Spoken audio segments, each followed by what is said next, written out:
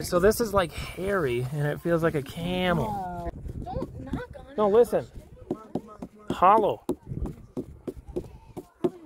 Tree's got a big old set of balls on it. There, that ruined my video.